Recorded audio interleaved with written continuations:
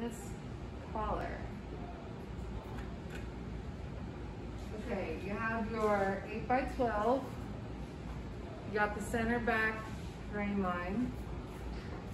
This should be folded right on the line again, finger pressed. And you want to line your center back edge that you folded and this first horizontal line that you drew in, that should be right on the neckline. With this collar, you always have to have ease built into the collar. So whether you're patterning or draping, you need to account for this. One way to do this is to line your actual neckline seam of your collar piece, line it up just a hair lower than all of your other neckline, okay? So if I'm a millimeter below my neckline on my, my foundation garment, then that will give me a little bit of extra space for ease. I wanna ease it into this neckline seam, okay? So that is one way to do it. The other way is, um, I'll have to tell you about it in a minute. And you can do multiple ways. But so I'm lining this up right on center back line. I'm trying to get nearly on top of this, this neckline seam, but I'm gonna drop it just a little bit lower than my drawn in seam on my foundation. This is another secret pin because we have to fold this down eventually. So right where I want it to be, right there on that line that I drew in on this panel, I set it a hair below the neckline on my foundation garment, but I'm gonna pin it right below. So this is what it should look like, and it's another secret pin. It's right out, out of our way. We don't have to worry about anymore. So your second pin is gonna be right above that. And you remember what height our stands should be about? Yeah, inch to an inch and a half. So we could go an inch and a quarter, I think that we should try an inch and a quarter because inch and a half is going on the little bit higher side. So try an inch and a quarter. Or I don't know, if you want a more dramatic collar, you want to try for that, go inch and a half. I'm gonna go inch and a half. And make a little dot with your pencil at inch and a half. That's up from your, um, your line don't look at the seam line on the dress form. Look at the original horizontal line that you have on your collar panel and measure up from that. So up from that neckline seam on my collar, I'm measuring one and a half. I make a little dash mark right there. It tells me that's one and a half inches high. Now that I have that, I'm going to take another pin.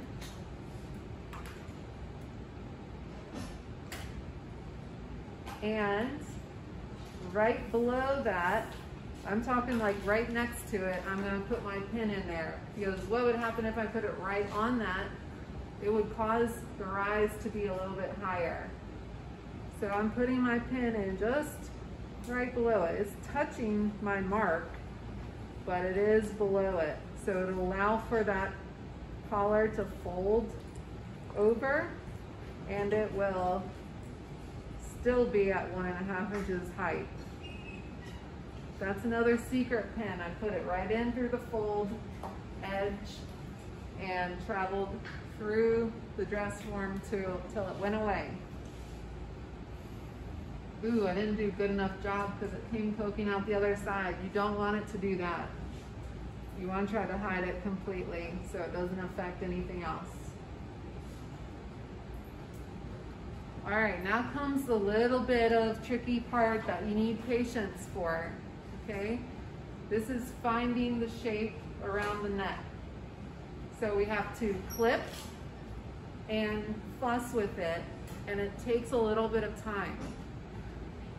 So get your pins and your shears ready. And you can tell when things are tense, when you need to clip it. So in fact, just while you're here, pull your fabric up and start to make like a tunnel with it and see what happens just by holding it like that. See what happens when you pull this front part downward at an angle. If you pull it downward, it gets closer to the neck. The fit is closer against the neck, right? If you were to make that less dramatic and it was not as pulled down, it's closer to keeping that initial line, then it's further away from the neck. It sits further away. So that tells us that that neckline curve, when we're looking at this piece flat on the table, the more curved it is, the closer it is gonna be to the neck, sitting to the neck, okay? And that's why we have that half inch line above the initial line. That's what we're shooting for, to end up right at center front. You're looking for your adjusted neckline on the front, and it's got to get close to that half inch. So that'll end up right on top of each other or around there. Okay, so let's start clipping into this. At first, you do not want to clip past that inch line, right? You can clip to it or close to it, but not past it, because that is your seam line for now.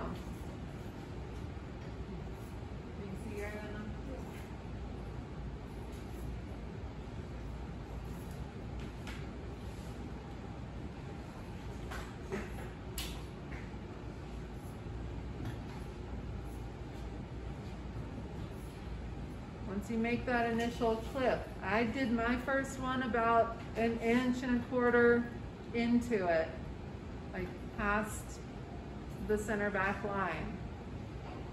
Go for another one. I clipped all the way to that initial horizontal line. I've only put in one pin so far. I want to see how this starts to get its shape first.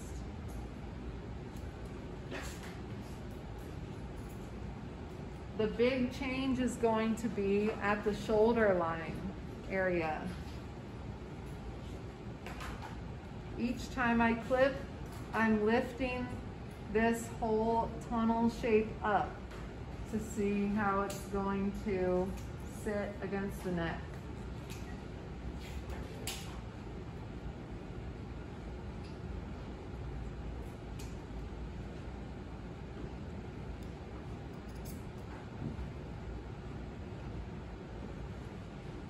I feel pretty confident now that I have a decent relationship between that collar neckline and my garment neckline. So I'm going to start pinning my neckline to the neckline of the foundation. These pins should be parallel with the seam, the stitch line, and should not go into the dress form. You should only be pinning to that first layer of fabric. This allows us to have some breathing room because otherwise you're draping right to the dress form and that's a tight fit. We want to drape to fit our adjusted neckline. So I'm looking under this collar layer and I'm placing this neckline seam right on top of the neckline seam for the garment. And then I'm using my pins almost like stitches, right?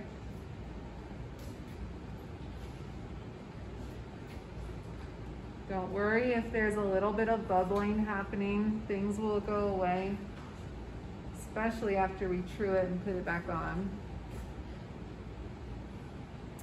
I'm also trying to be a little bit below that neckline seam, remember? There's a lot of things to keep in your head, juggling while you're doing this to make everything legitimately fit. That's why I just take it slow and little baby steps until it starts to, to take form.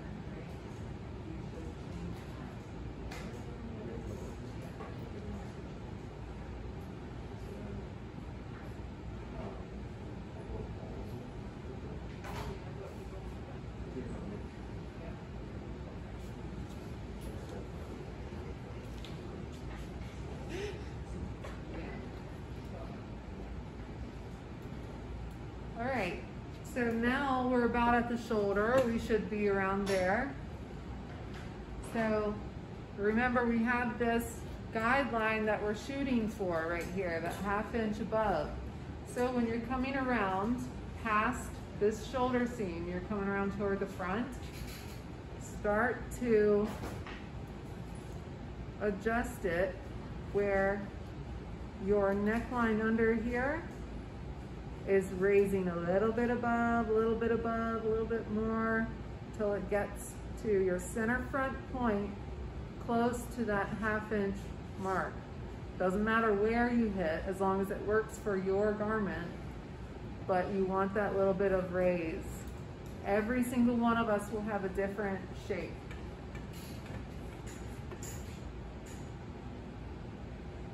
So, um, past my shoulder seam. I want to keep on clipping.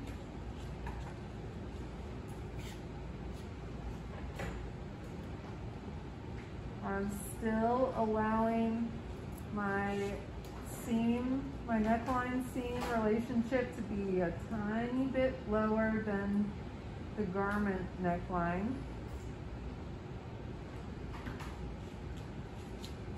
And that's how I'll mark it when we are marking our collar.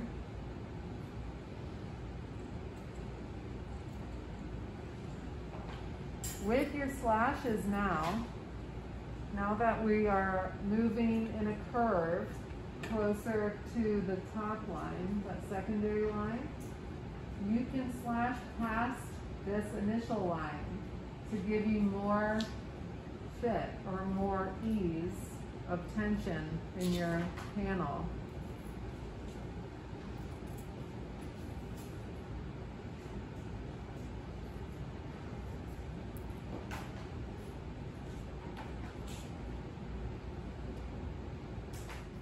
Yeah, you are trying to get to your adjusted neckline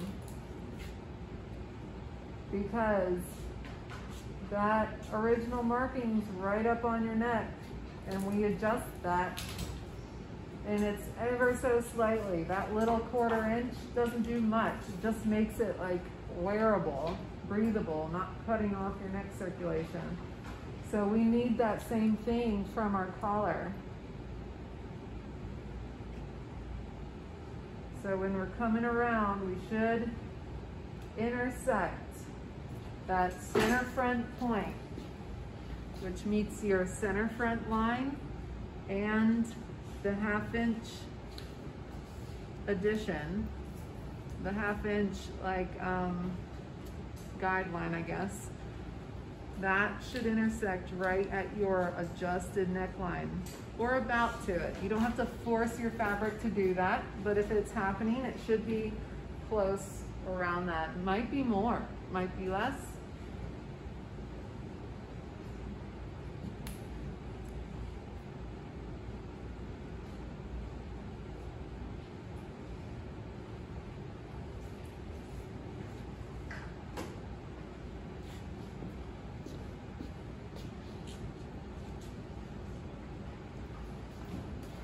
If you're having trouble seeing your your neckline seam, you can always put draping tape on that seam of your garment and it will really show up easily. Or do it in a color. Mark it with a color that is easier to see.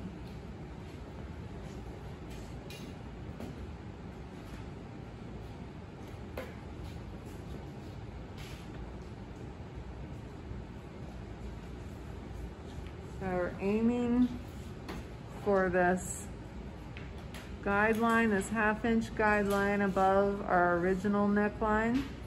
We're aiming for that to intersect right at our center front point with our adjusted neckline.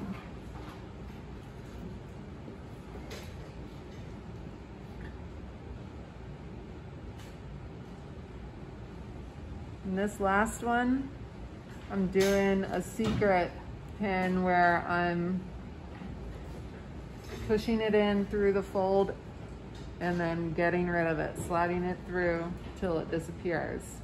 Because now we need to fold our, our collar down. This is where it gets fun and tricky and a little bit hard.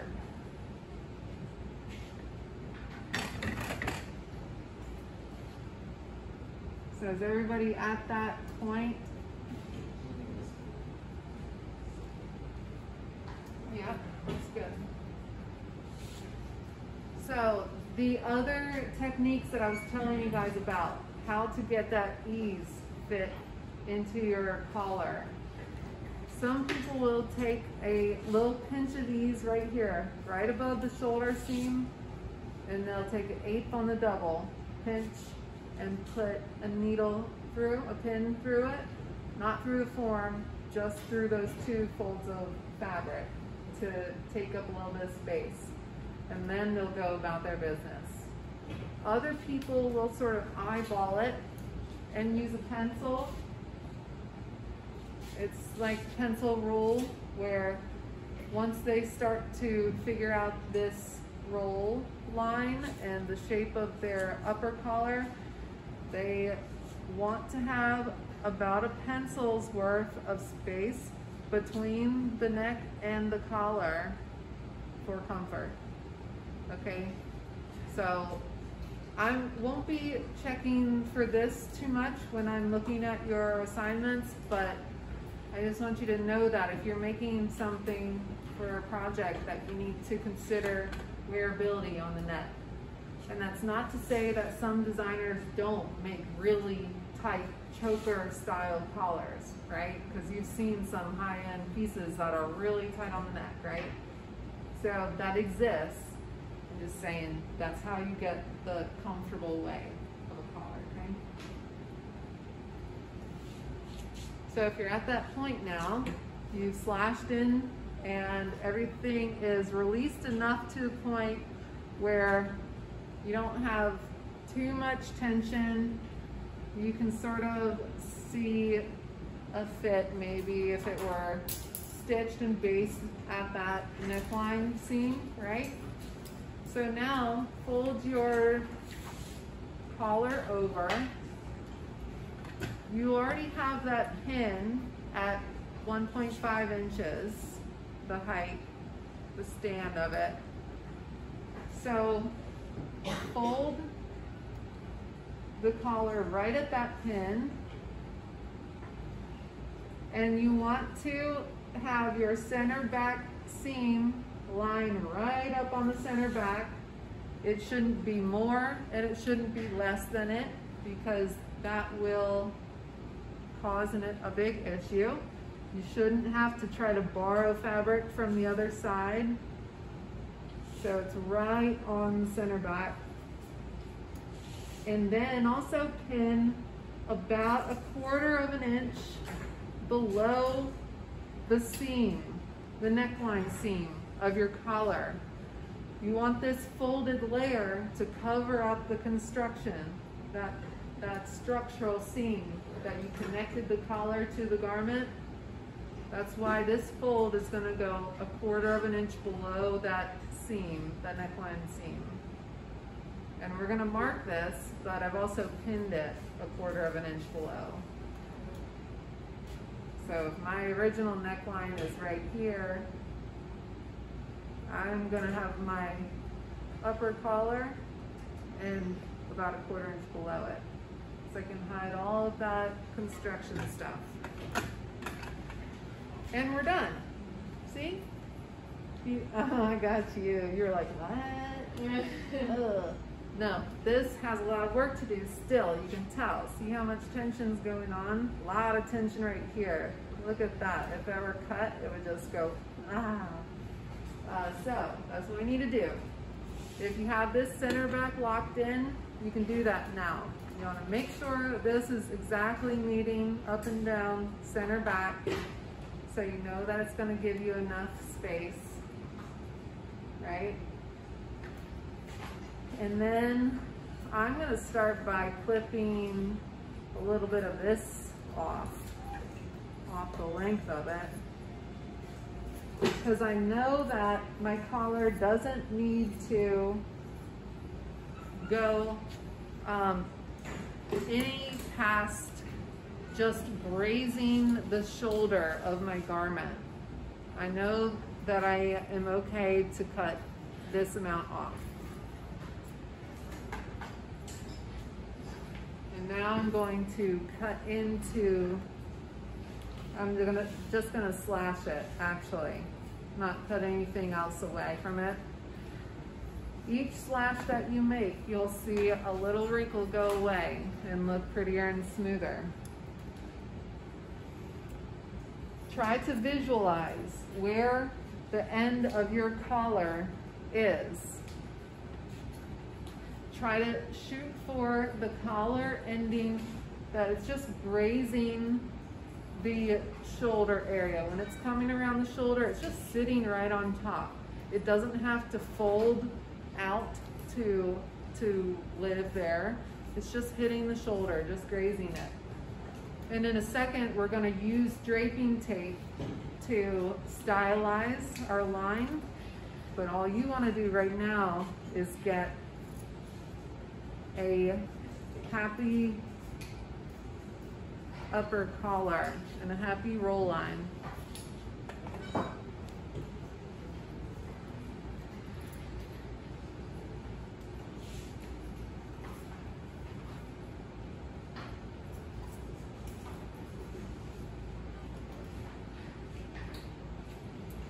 So you can probably already see now it's starting to look a little more like a collar. You're releasing the tension. So I'm gonna make one last clip here. I'm stopping at the shoulder line. It's okay if you went past, but I'm gonna stop here so I can show you something.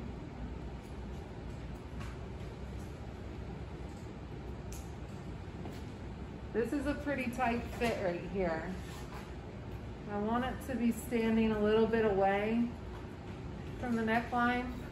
So I would probably, if this were a real garment, I would probably go back there and adjust it, tweak it a little bit. So what I want to do here at this point, I've clipped into this shoulder area, which is the biggest part for the tension. And this is also where the collar starts to lay flat against the body, okay? It starts not rolling anymore, not having to stand in transitions. This is where I want to put my drape tape on and choose my style line. So starting in the center back, I'm going to, first off, make a note to myself, do I want my drape tape to be on the inside or the outside of my markings or the pattern? I'm gonna say, I'm gonna mark on the outside of my tape. So the outside of my tape is gonna be the real line that I wanna draw on below the tape. So I am making that bottom edge the one quarter of an inch below the seam. That's not a hard measurement, like a solid measurement that you always have to do every time, but you just want enough to cover that construction, okay? It can be an eighth if it works for that garment. Now without pulling, I wanna be very gentle with this. I want to take it around and see about where the point is, where the collar seems to just meet the top of the garment. And at that shoulder seam right there, that's where I want it to raise the top of the garment and then I start with my shape, okay? So now we're at the shoulder point right here you can start to see a collar out of that, right? And start to visualize what angle I want with the collar. So from that point, you could go like funky 70s collar like this, and it would still be a convertible, right? You can go whatever shape. You want a little itty bitty conservative one, that's fine got to come all the way back to that center front point and meet right on there, okay?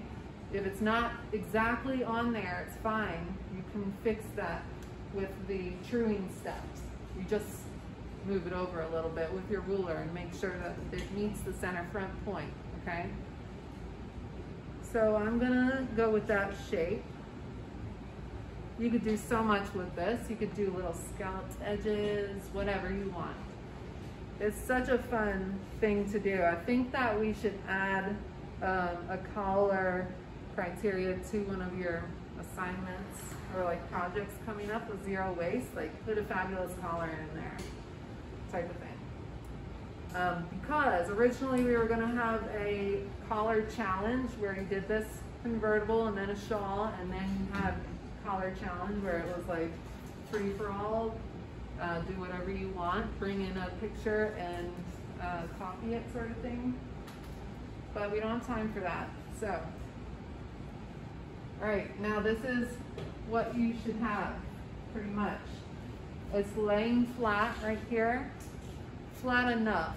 There's a little bit of bubble. I want to be, you know, uh, critical of this. What's the, what's the fit like around the neck? Does that feel like it's totally gonna be super uncomfortable wearing it? And is this really laying flat? Will it lay flat when it's sewn together? So we can see this better once we true this and then um, put it back together with the rest of our drape, make adjustments from there.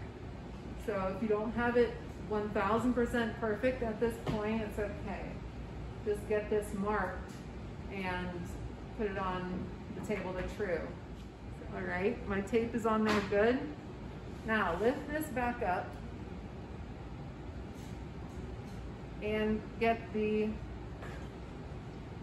under markings, that first layer.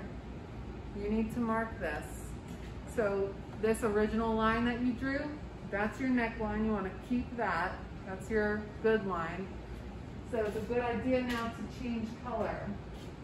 I want a new color to tell me at some point, don't listen to this graphite anymore, follow the curve of this green.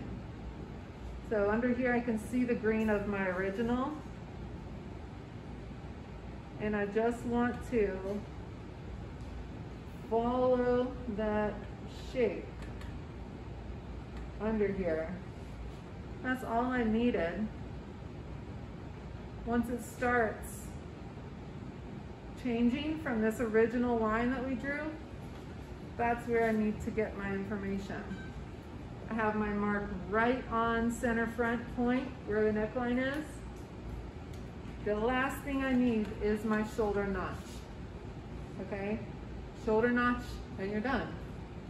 So I'm gonna give myself right on that stitch line. I'm gonna make sure I'm directly on that shoulder line and give myself a notch. Now I can take it off take off this whole thing. I want to be very careful that I don't let my tape let go of the collar. And you're going to come up with a piece that has tape on one side and your markings on the other. You should be able to see your tape through the other side.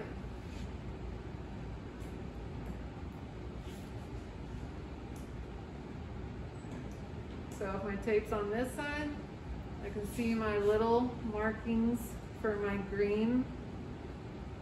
Here's my original line and it goes up slightly for my neckline. And my style line I can see through the other side. I'm just gonna transfer that shape through to the other side and then take my tape off, okay? Then I'm gonna give it seam allowance all the way around style line gets a quarter inch. Construction lines, like structural seams, get a half inch. So that's the neckline. Style line is this whole purple line. And um, I also, for Wednesday, I also want to see what adjustment needs to be made to get the under collar, right? Which is just an eighth of an inch off of the style line, blended back into original center front. And it's all up on canvas, every point of this. So this is what your collar drape will look like after you're finished. You'll have tape on one side and markings on the other. So you should have made a distinction between the two of your tape being on the inside or the outside of your pattern. Trace this off to the other side. You can see your draping tape. Uh, you should be able to because of the color. And then get a rough idea of what that shape needs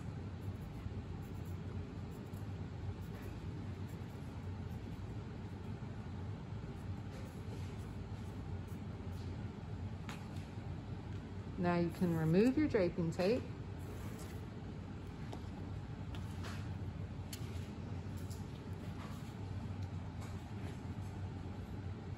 And true the curves of this. So your point right here will be straight. This is a straight shot from center front to the collar point.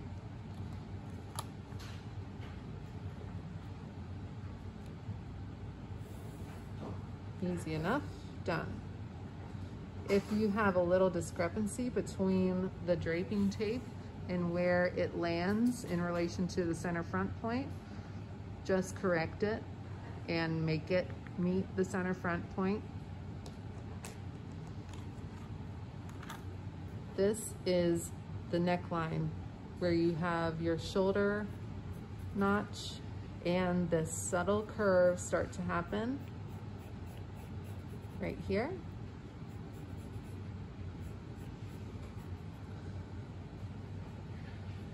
Squared off at the center back.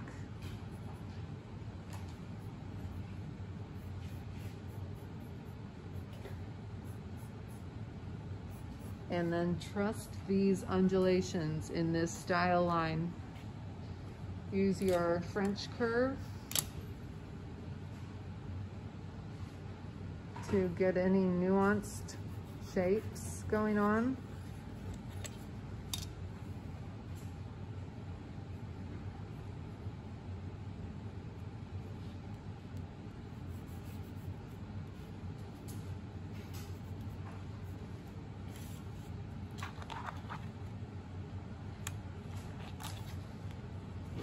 I do believe this is slightly curved right here.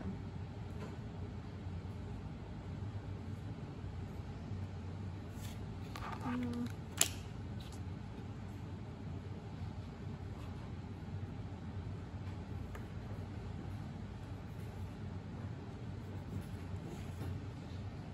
this is the neckline and this is the style line. So the neckline is a structural seam we need a half inch right here.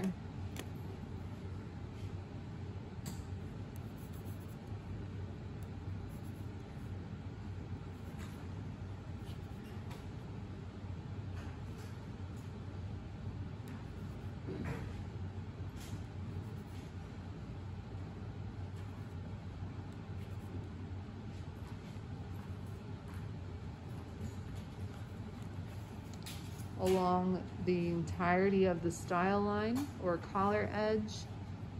That only needs a quarter of an inch.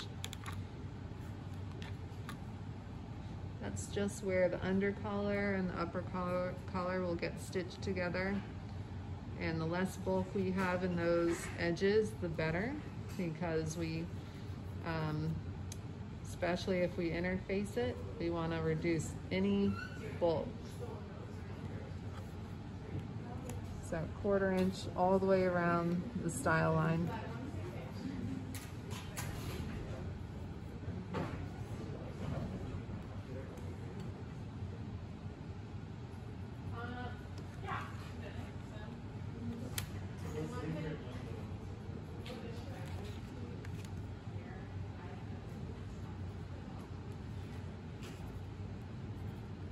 The last thing I want to see on this pattern is the uh, process to get your under collar, which is reducing the upper collar by an eighth inch all the way around the style line, blended back into the original center front point.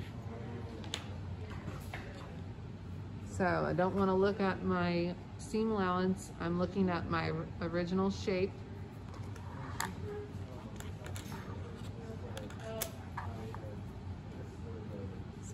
this is.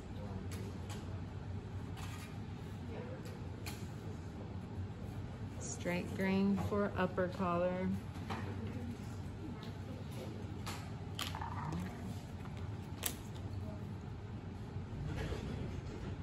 No, you don't need to mark the roll line.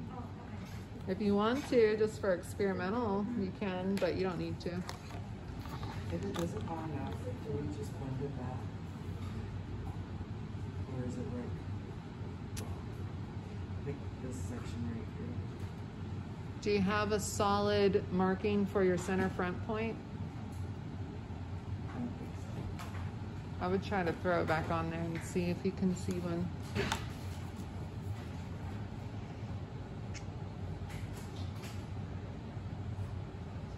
So in blue, I'm going to Draw out the shape of my under collar. And you'll see it's an eighth of an inch inside of my original shape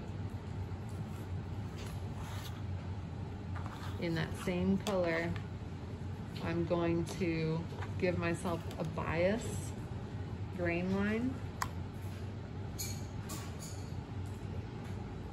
And remember, I am taking I am taking this eighth inch reduction and I'm gonna blend it right back into that original center front point. And this is what I would trace off for my under collar. He also needs bias grain line.